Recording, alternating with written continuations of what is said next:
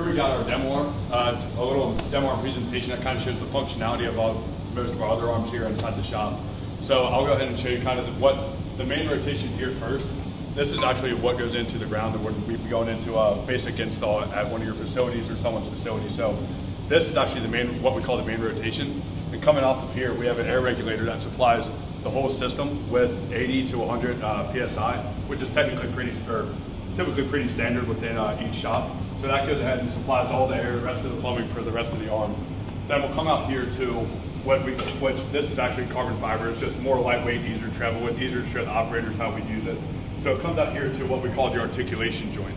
Out here we have a parking brake, which you can flip on and off from a toggle down here, which really just holds it in place when you're not using it or when you are, just kind of put out of the way for storage purposes. So if you come down here, we actually have one of our air cylinders here that supplies the up and down movement of the arm. So easy to do, you can do it with one hand, two fingers go up and down, which can be, which can be, uh, which that can be altered. Going over here to uh, what we call regulators on the side. That can be adjusted to kind of your likeness.